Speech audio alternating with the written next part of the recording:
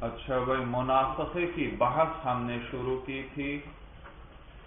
اور مناسخے کا پانچواں قانون ہم پڑھ رہے تھے بھائی، پانچواں قانون۔ پانچواں قانون میں نے آپ کو لکھوایا مناسخے کا طریقہ بھائی، کس طرح ہوگا کہ سب سے پہلے کیا کریں گے؟ موری سے اعلی کی میت بنائیں گے۔ اور اس کے بائیں کنارے پر مور سے اعلی کا نام لکھ لیں گے کہ وہ زید ہے، عمر ہے یا بکر ہے، جو بھی نام ہے وہ لکھ لیں گے۔ پھر میت کے نیچے اسی طرح وارث بنائیں گے اور پھر وارثوں کے نیچے ہر ایک کا نام لکھ دیں گے بھائی اس کے بعد جیسے پہلے ہم مسئلہ بناتے تھے، اسی طرح مسئلہ بنا لیں گے اور مسئلہ کی تصحیح کر لیں گے۔ اس کے بعد پھر جس کا انتقال ہوا تھا، نیچے اس کی میت بنائیں گے۔ میت کے درمیان میں اس مرنے والے کا نام لکھیں گے۔ اور اس کے نیچے اس کے وارث لکھ لیں گے۔ ان وارثوں کے نیچے ہر ایک کا نام لکھ لیں گے بھائی۔ اور اس مرنے والے کو جو اوپر کے مسئلے میں جتنا حصہ ملا، وہ اس کی میت کے بائیں کنارے پر اوپر مافل ید لکھ کر اس کے ساتھ لکھ دیں گے۔ مافل ید لکھ، وہ اس کے ساتھ لکھ دیں گے۔ پھر اس جیسے پہلے ہم مسئلہ بناتے تھے، اسی طرح اس کا بھی مسئلہ بنائیں گے۔ جب مسئلہ بنا لیا، تصحیح وغیرہ کر لی تو اب اس میت ثانی کی تصحیح مسئلہ اور معافل ید کے درمیان نسبت دیکھیں گے۔ اگر تو نسبت ہوئی تماسل کی، مثلا مسئلہ بھی بنا بارہ سے اور معافل ید بھی کتنا ہے؟ بارہ ہے۔ تو پھر تو کچھ بھی کرنے کی ضرورت نہیں، مسئلہ کی تصحیح ہو چکی ہے بھائی، اسی طرح مسئلہ رہے گا۔ لیکن اگر مافل ید کوئی اور عدد ہے اور مسئلہ کی تصحیح کسی اور عدد سے ہوئی ہے، کس کی بات کر رہا ہوں؟ میت ثانی کی۔ تصحیح کا عدد کوئی اور ہے اور مافل ید کچھ اور ہے، تو پھر دیکھو ان میں کون سی نسبت ہے۔ کہ اگر تو ہو تباین، تو پھر کیا کریں گے؟ یہ جو میت ثانی کا تصحیح مسئلہ کا جو عدد ہے، اس عدد کو اوپر والے جو مسئلہ ہے، اس کے مسئلہ سے بھی ضرب دے دیں گے، اس کی تصحیح سے بھی ضرب دے دیں گے، اور نیچے اس کے جو وارث تھے، ان میں بھی سب میں ضرب دیں گے۔ ہاں اوپر وہ یہ جس کی میت ثانی اوپر آپ اس میں ڈبا بنا چکے ہوں گے، اس کو ضربے نہیں دینی، اس کے سہام کو، باقی وارثوں کے سہام کو۔ اس تصحیح ثانی سے کیا کریں گے؟ سب کو ضرب دے دیں گے۔ سورج سمجھ میں آ رہی ہے بھائی؟ یہ تو اوپر کی طرف ضربیں دیں۔ اوپر کی طرف ضربیں کس سے دینی ہے؟ تصحیح نیچے والے کی تصحیح مسئلہ سے۔ اور یہ جو میت ثانی کے مافل ید تھا، اس کو ضربے دیں گے۔ کس کے ساتھ؟ میت ثانی کے جو ورثہ کے سہام ہیں، ان میں ضربیں دیں گے۔ میت ثانی، سمجھ میں آ رہی ہے بات؟ میت ثانی کے تصحیح مسئلہ کو اوپر والے مسئلہ میں بھی ضرب دیں گے اور اوپر والوں کے سہام میں بھی۔ جبکہ اس کے مافل ید کو صرف اسی کے وارثوں کے سہام میں کیا کریں گے؟ ضرب دے دیں گے۔ یہ کون سی صورت تھی؟ تباین والی بھائی پورے پورے عدد کو ہی ضرب دے دیں گے۔ اور اگر میت ثانی کی تصحیح اور مافل ید کے درمیان توافق کی نسبت ہو، تو پھر بھی ضربیں اسی طرح دیں گے، لیکن اب پورے عدد سے ضرب نہیں دیں گے، بلکہ وقت کے ساتھ ضرب دیں گے بھائی یعنی میت ثانی کی تصحیح کا جو وقت ہے، اس کو اوپر والے مسئلہ سے بھی ضرب دیں گے اور اوپر والوں کے سہام سے بھی۔ اور مافل ید کے وقت کو اس میت ثانی کے وارثوں کے سہام میں ضرب دے دیں گے۔ سورج سب کو اچھی طرح سمجھ میں آ گئی؟ یہ تو تین نسبتیں بیان ہو گئی تماسل تباین اور توافق توافق اور اگر تداخل ہو، پھر کیا کریں گے؟ یاد رکھیے، یہاں تداخل بھی توافق کی طرح ہے۔ اگر، یوں لکھیں، اگر میت ثانی کی تصحیح مسئلہ، اگر میت ثانی کی تصحیح مسئلہ اور مافل ید کے درمیان، اور مافل ید کے درمیان تداخل کی نسبت ہو، کے درمیان تداخل کی نسبت ہو۔ تو یہاں تداخل بھی توافق کی طرح ہے۔ تو یہاں تداخل بھی توافق کی طرح ہے۔ اس صورت میں میت ثانی کی تصحیح مسئلہ،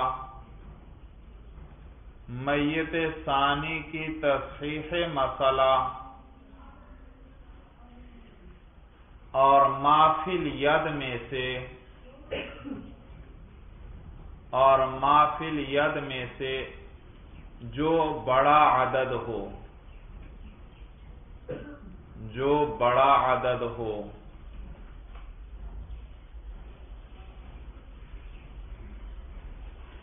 صرف اس کا وقت کو ضربیں دیں گے، دوسرے چھوٹے عدد کو چھوڑ دیں گے۔ صرف اس کے وقت کو ضربیں دیں گے۔ اور چھوٹے عدد کو کی ضربیں چھوڑ دیں گے۔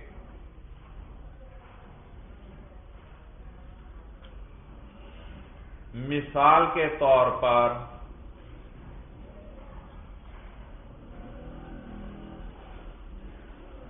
میت ثانی کی تصحیح مسئلہ ہے۔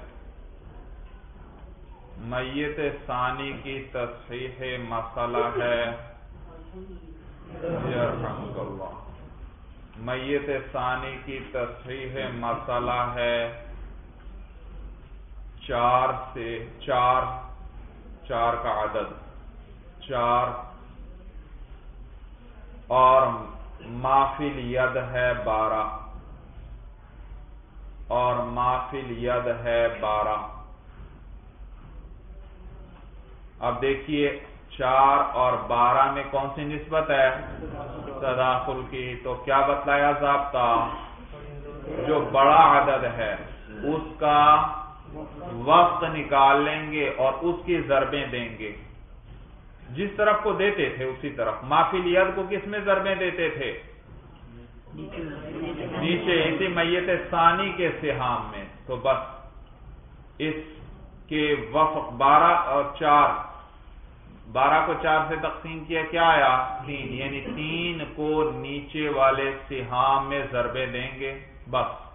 اوپر والوں کو ضربے نہیں دیں گے پھر بھائی تصیح مسئلہ سے۔ جی کیا لکھا؟ آخر میں۔ مثال کے طور پر میت ثانی کی تصویر مسئلہ ہے چار اور مافل ید ہے بارہ۔ ہاں تو مافل ید بارہ کے وقت تو مافل ید یعنی بارہ بارہ کے وقت یعنی تین کو یعنی تین کو نیچے والوں کے سہام میں ضربیں دیں گے۔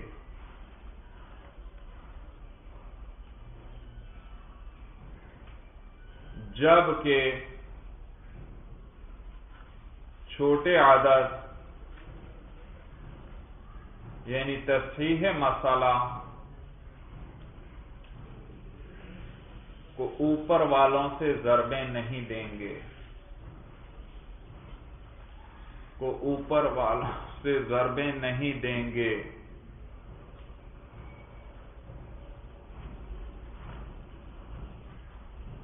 سورج سمجھ میں آ گئے؟ الگ سطر لکھیے۔ اور اگر اس کا عکس ہو، اور اگر اس کا عکس ہو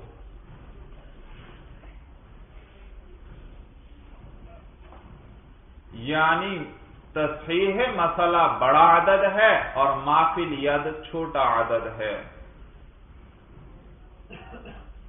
یعنی تصحیح مسئلہ بڑا عدد ہے اور معافل ید چھوٹا عدد ہے۔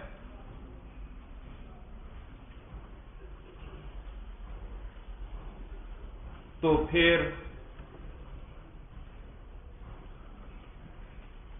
بڑے عدد بڑے عدد کا وقت جو ہے، بڑے عدد کا وقت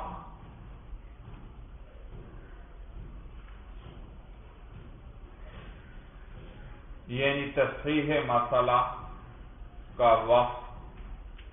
یعنی تصحیح مسئلہ کا جو وقت ہے بھائی تصحیح مسئلہ کو کدھر کو ضربیں دیتے تھے؟ ہاں بس یہاں بھی وہی عمل ہوگا۔ تصحیح مسئلہ کا جو وقت ہے، اس سے اوپر والے مسئلہ، اس سے اوپر والے مسئلہ اور ان کے سہام کو ضرب دیں گے۔ اور ان کے سہام کو ضرب دیں گے۔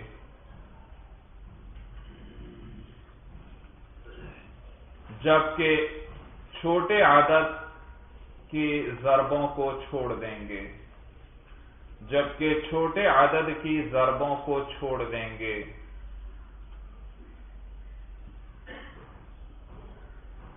یعنی مافل ید کے سے نیچے والے استحام کو ضرب نہیں دیں گے۔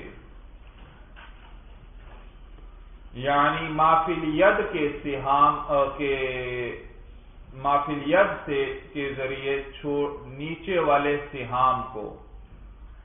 مافل ید کے ذریعے نیچے والے سہام کو ضربیں نہیں دیں گے۔ سمجھ میں آ گئی بات اچھی طرح بھائی؟ تو یہاں تداخل بھی توافق کی طرح ہے۔ اسی لیے صاحب کتاب کتاب میں اس کو ذکر ہی نہیں کریں گے بھائی۔ وہ ذکر ہی نہیں کریں گے۔ وہ صرف اتنا کہیں گے، تین طرح کی نسبت ہو سکتی ہے۔ یا تماسل یا تباین، یا توافق۔ تداخل کو کیوں نہیں ذکر کیا؟ کیونکہ تداخل کس کی طرح ہے؟ توافقی کی طرح ہے بھائی، اسی میں آ جائے گا بھائی۔ سمجھ میں آ گئی بات اچھی طرح بھائی؟ اسی طرح کا عمل آگے بقیہ میتوں میں بھی کرتے چلے جائیں۔ یہی عمل اسی طرح کا یا یوں لکھنے اسی طرح کا عمل باقی بھی جتنی میتیں ہیں، ان میں اسی طرح کرتے چلے جائیں۔ اس کے بعد باقی جتنی میتیں ہیں، ان میں بھی یہی عمل اسی طرح کرتے چلے جائیں۔ یعنی کہ ایسا کیا کرنا تھا؟ تصحیح مسئلہ کو میت، پہلی میت کے مسئلہ میں بھی ضرب دیں گے اور اوپر والوں کے سہام میں بھی ضرب دیں گے۔ سورج سمجھ میں آ رہی ہے، توجہ سے سنو بھائی، دوبارہ سن لو۔ بھائی، میت اول کے بعد میت ثانی بنائی تھی، تصحیح مسئلہ کر لی۔ طریقہ یہاں تک آ گیا۔ اس کے بعد بھی جتنی میتیں آئیں گی، یہی طریقہ چلتا رہے گا۔ یہی طریقہ چلے گا۔ لیکن کس طرح؟ اگلی جو بھی میت بنائیں گے اس کی تصحیح مسئلہ کر لیں گے مافل ید اس میں لکھ لیں گے۔ مافل ید کیسے لکھیں گے؟ بھائی مافل ید سے کیا مراد ہے؟ جو اوپر اس کو ملا۔ اوپر اب ابھی تو ایک میت اولا تھی۔ اب باقی بھی میتیں آئیں گی۔ ہو سکتا ہے اس کو کہیں اور بھی حصہ ملے۔ تو وہ سارے جمع کر کے پھر مافل ید میں لکھیں گے۔ جو نیچے جائیں گے، اوپر جہاں جہاں اس کو حصہ ملا ان ساروں کو کیا کریں گے؟ جمع کر لیں گے۔ اور وہ پھر اس کے کہاں پر لکھ دیں گے؟ مافل ید میں۔ سورج سمجھ میں آ رہی ہے؟ صرف میت اول کے اندر اس کا حصہ مافل ید نہیں ہے۔ جہاں جہاں سے اس کو ملا، جتنی میتیں اوپر اب بڑھتی چلی جائیں گی، کبھی آٹھ میتیں ہوں گی، کبھی دس ہوں گی، کبھی تو ان سب کے سے جہاں جہاں سے اس کو جو حصہ ملا ہے، ان سب کو کیا کر لیں گے؟ جمع کر لیں گے اور پھر اس کا مافل ید لکھ لیں گے بھائی۔ سورج سمجھ میں آ گئی اور اس مافل ید کو یا اس کے وقت کو کس سے ضرب دیا کرتے ہیں؟ اسی میت کے سہام کو۔ اس کے جو وارثوں کے سہام ہے اسی سے کیا کرتے ہیں؟ ضرب دیتے اور تصحیح مسئلہ کو کس سے؟ توجہ سے سننا بھائی، تصحیح مسئلہ کو کس سے ضرب دیتے تھے؟ میت اول جو تھی، اس کے مسئلہ سے بھی ضرب دینی ہے اور اس کے جو وارث زندہ ہیں، جن کے گرد ابھی ڈبا نہیں بنا، جو جو میتیں بناتے جائیں گے، ڈبے بڑھتے چلے جائیں گے بھائی۔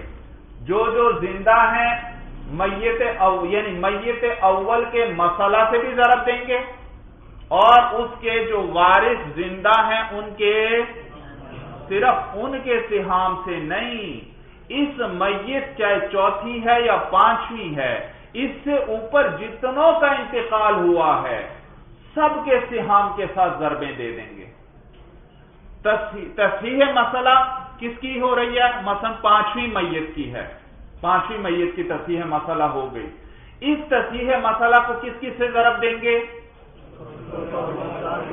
اوپر جو چار میتیں ہیں، ان میں ان کے جو جو وارث ہیں زندہ، ان سب وارثوں کے سہام سے کیا کریں گے؟ لیکن مسئلوں سے نہیں ضرب دیں گے، صرف میت اول کے مسئلے سے ضرب دیں گے۔ وہاں سے ہم تصحیح سب کی کرتے چلے آ رہے ہیں۔ بھائی، یہ ضربیں ہم کیوں دے رہے ہیں؟ تاکہ تصحیح ہو جائے، ایک ہی صورت سب کی نکل آئے گی اکٹھی۔ تو مسئلہ وہی میت اول سے بن رہا ہے۔ اس کے صرف مسئلے سے ضرب دینی ہے، باقی کسی کے مسئلوں سے ضرب نہیں دینی۔ ان مسئلوں کو اسی طرح رہنے دینا ہے۔ ہاں سب کے جو جو زندہ ہیں، ان کے سہام سے کیا کرتے چلے جائیں گے؟ ضربیں دیتے چلے جائیں گے۔ سورج سمجھ میں آ گئی؟ اچھی طرح۔ جبکہ معافیلیات کو صرف کس سے ضرب دینی ہے؟ اسی میت کے وارثوں کے سہام سے بھائی۔ اب سورت اچھی طرح واضح ہو گئی بھائی۔ آگے مثالیں آئیں گی، بات اور واضح ہو جائے گی بھائی۔ بہرحال یہ ابھی سے اچھی طرح سمجھ لیں بھائی۔ اصول نمبر چھ بھائی۔ اصول نمبر چھ۔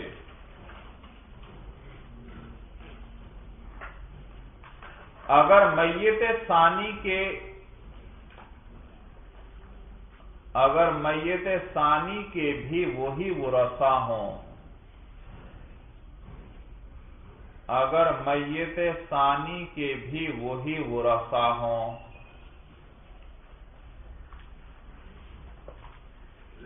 جو میت اول کے تھے۔ جو میت اول کے تھے۔ اور درجہ استحقاق بھی برابر ہو۔ اور درجہ استحقاق بھی برابر ہو۔ تو دوبارہ میت ثانی بنانے کی ضرورت ہی نہیں۔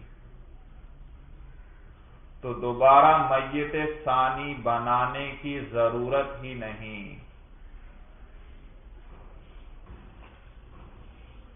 بلکہ اسی موری سے آلہ کی میت کے نیچے، بلکہ اسی موری سے آلہ کی میت کے نیچے جو ورثہ لکھے، جو ورثہ لکھے، اور پھر جس دوسرے وارث کا انتقال ہوا اور پھر جس دوسرے وارث کا انتقال ہوا، اس کے نیچے لکھ دیں گے، اس کے نیچے لکھ دیں گے کا الم یقن کا ان لم یکن کا ان لم کا الم یکن اور اس کے گرد ڈبا بنا دیں گے اسی طرح۔ کا الم یکن کے گرد اسی طرح ڈبا بنا دیں گے۔ کالم یکن کیا مانا؟ جیسے کہ گویا کہ یہ ہے ہی نہیں بھائی، جیسے کہ یہ ہے ہی نہیں، اس کو شمار ہی نہیں کریں گے۔ اور باقی مسئلہ، باقی وارثوں کے ساتھ مسئلہ بنا لیں گے۔ اور باقی وارثوں کے ساتھ مسئلہ بنا لیں گے۔ لیکن اگر میت ثانی کے ورثہ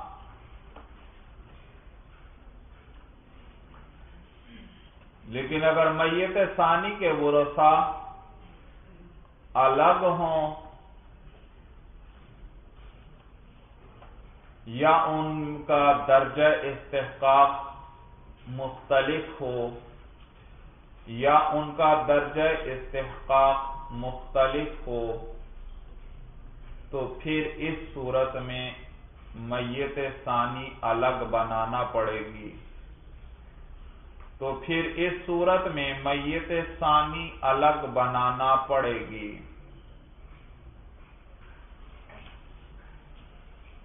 آگے بھائی مثال لکھیے، کون سی مثال ہے یہ؟ جی؟ مثال نمبر ایک سو نو بھائی۔ ایک صفر نو۔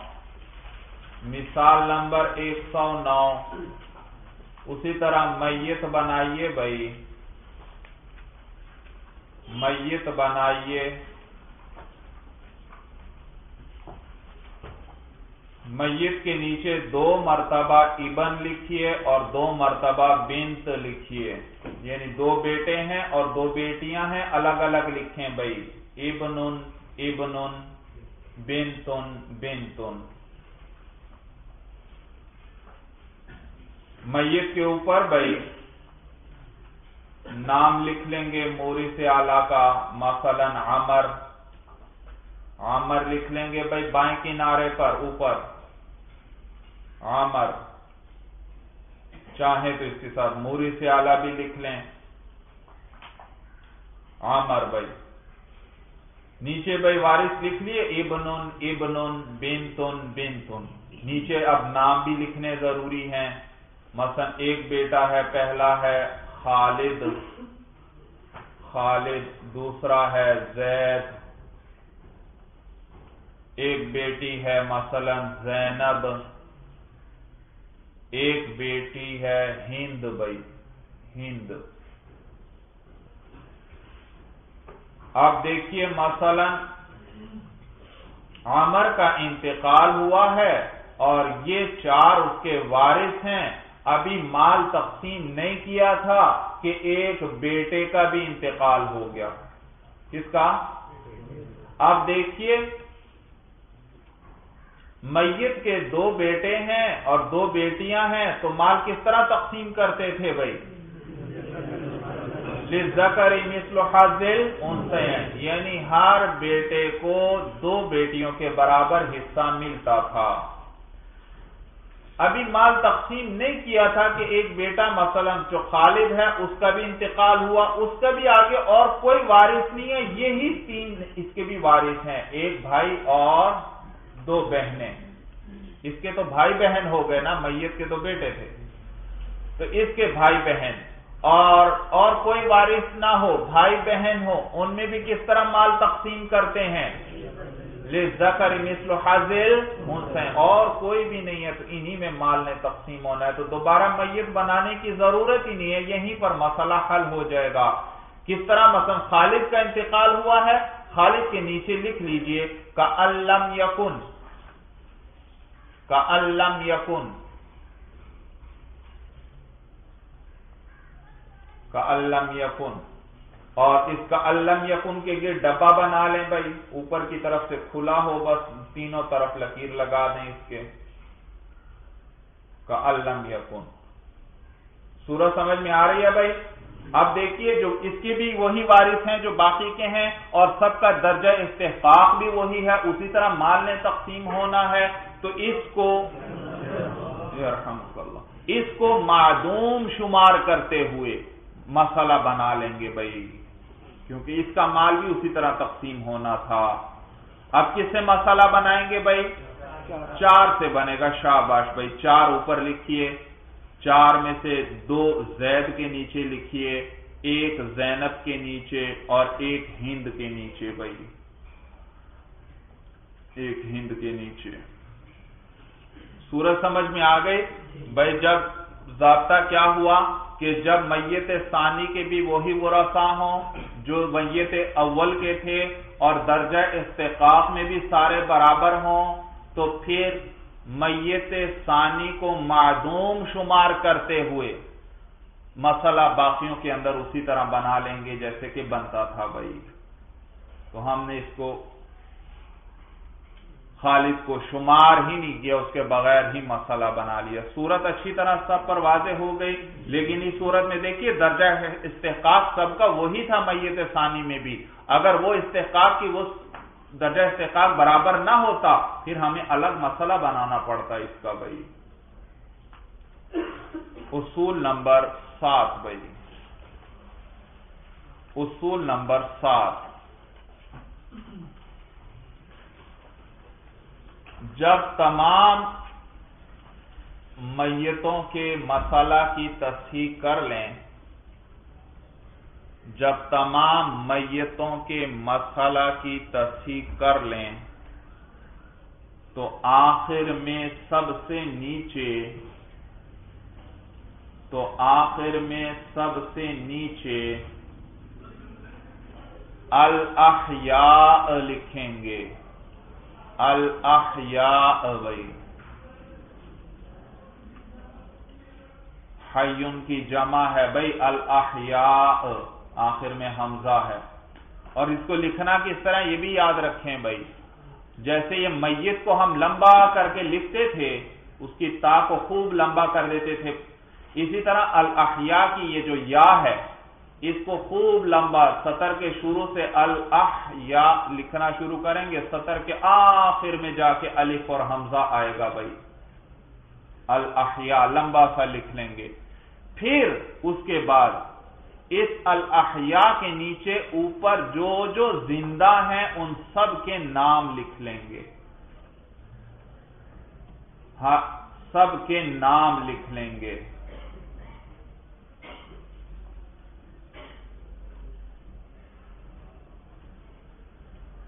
اور ہر نام کے نیچے اس کو جو حصہ اوپر ملا، جہاں جہاں سے ملا، جمع کر کے اس کے نیچے لکھ دیں گے۔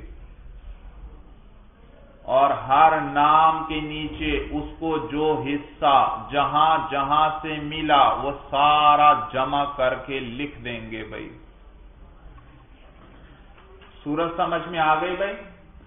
تو الاحیاء کے نیچے ہم نے سارے جو اب تک زندہ ہیں ان کے نام لکھنے ہیں اور ہر ایک کے نیچے اس کو جو جو اوپر اب تک ملا ہے، جہاں جہاں سے ملا ہے، وہ سارے جمع کر لو۔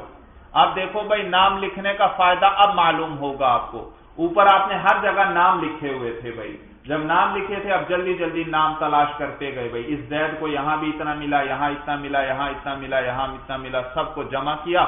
اور نیچے جو زید اللہ کے نیچے زید جو لکھا، اس کے نیچے اب وہ لکھ دیں گے۔ اسی طرح فلاں کو اتنا، فلاں سب کو لکھ دیں گے بھائی۔ سمجھ میں آیا؟ تو یہ سارے کس کے نیچے لکھنے الاحیاء کے نیچے ترتیب سے نام لکھنے۔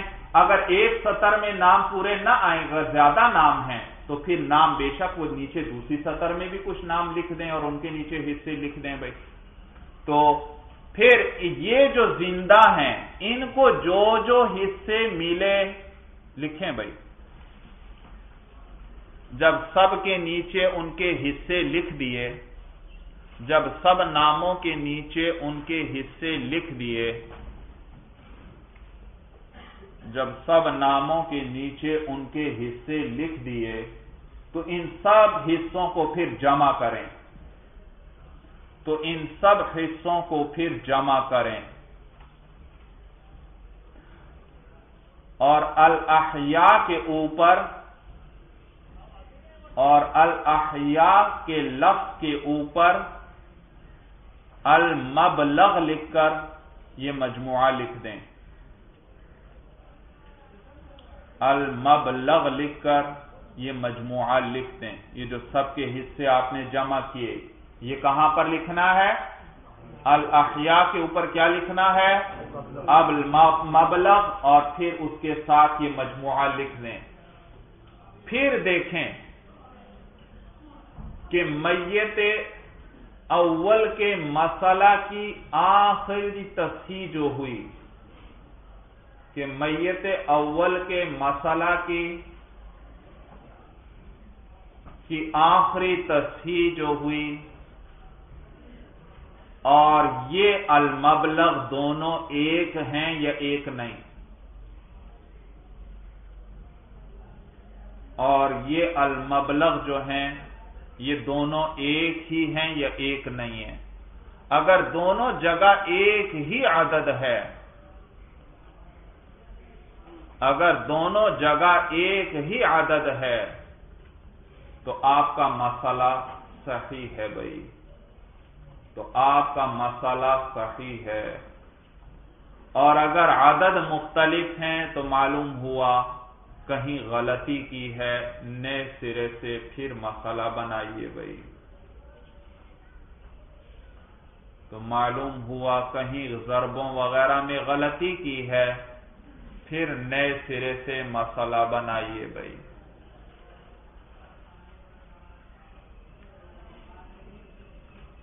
صورت اچھی طرح سمجھ میں آ گئی بھائی۔ سب سے آخر میں کیا کرنا ہے؟ الاحیاء لکھنا ہے۔ الاحیاء کے نیچے جو جو زندہ ہیں، ان کو کیا کریں گے؟ ان کے نام اتار لیں گے۔ اوپر ان کو جہاں جہاں سے جتنا حصہ ملا ہے، وہ جمع کر کر کے ہر ایک کے نیچے لکھتے چلے جائیں گے۔ اور پھر ان ساروں کے مجموعہ بنائیں، جمع کریں ان کو اور المبلغ لکھ کر الاحیاء کے اوپر لکھ دیں۔ یہ مبلغ اور وہ جو میت اول کا مسئلہ ہے، جس میں آپ کیا دے رہے ہیں؟ ضربیں دے رہے ہیں۔